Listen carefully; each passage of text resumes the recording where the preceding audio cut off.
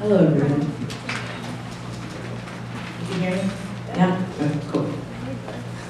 Hello, my name is Zoi Burns, a CA or Community Advisor for this year's cohort.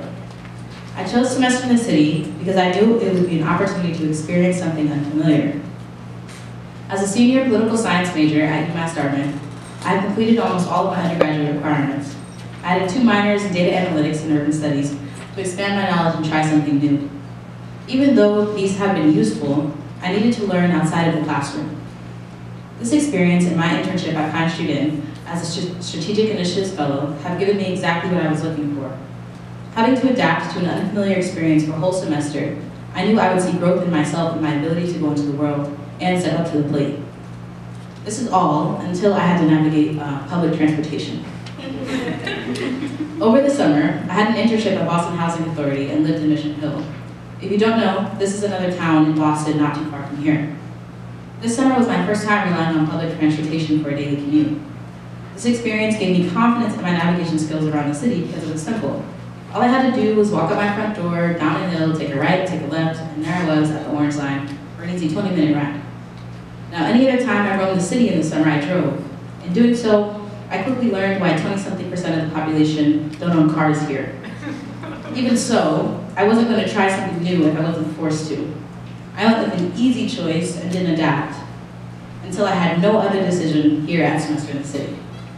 Coming into this program, I truly thought I could wiggle my way around and somehow find an easy way to take the same route I took in the summer to and from my fall internship. The MBTA map in the station just looked like a bunch of colorful squiggly lines to me, so I told myself, yeah, we're gonna stick to orange. However, little did I know, by trying so hard to hold on to the comfortability of what I knew, I was only making my commute longer and more complicated than it needed to be. I tried this route on the first day of my internship, and to no surprise, I was late. I was late. my mentor brushed this off because she's the best, but I couldn't shake my own feeling of disappointment. First impressions are everything, and I was late. I knew I needed to figure out a different way. I didn't want to have to adjust and stray from familiarity. I would be setting myself up to feel uncomfortable and inadequate on an adventure. But I knew, after my first day, I had no other choice than to get comfortable with being uncomfortable. Most experiences I've had this fall have required me to embrace the unknown, to accept that I may not know a single thing about the colorful squiggly lines, but one of them will get me where I need to go. Trying so hard to stay in places that are normal to us, that are familiar to us, is not new growth. I've grown because this program threw me in the ring of fire and said, figure it out. This is not in a helpless or neglectful way. They told us to figure it out because they knew we could. And we did. I did. I figured out the best commute to my internship, don't worry. But more importantly, I figured out how to trust myself. I've always felt more comfortable with a familiar and predictable plan of action. And although having a plan is always valuable, if someone were to ask me if they should take a leap of faith on a path they may know nothing about, I would now encourage them to do so with full trust and full faith. Because no matter how we fall, if we do, we fall forward and we learn.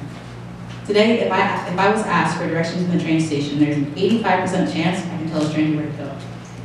Even if there's an unexpected construction and we have to chase down a shuttle bus like I did last week, we'll make it to our destination. I may not know what my future holds or what spaces I'll have to adapt to. I will be uncomfortable, but I'm no longer reluctant to change. I will step on the train, no matter the color, navigate while en route, and no matter what, enjoy the knowledge and growth that comes with the ride. Thank you.